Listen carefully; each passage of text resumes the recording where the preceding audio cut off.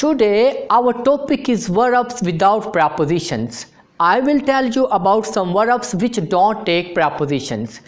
If we use prepositions after these verbs, they may change their meanings and become phrasal verbs.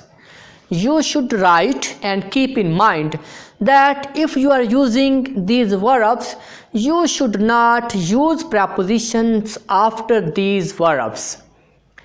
The questions about these verbs are often asked in competitive and other exams. Let's start. The verbs call, congratulate, assist, board, think, answer, join, enter, obey, watch, answer, inform, tell, ask, consider, describe, pick, discuss, advise, order, meet, attack, resemble, command, encourage, direct, divorce, reach, marry, approach, influence.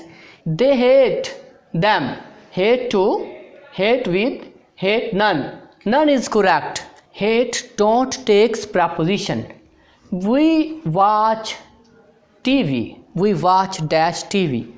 Watch at, watch none, watch to, watch in. None is correct.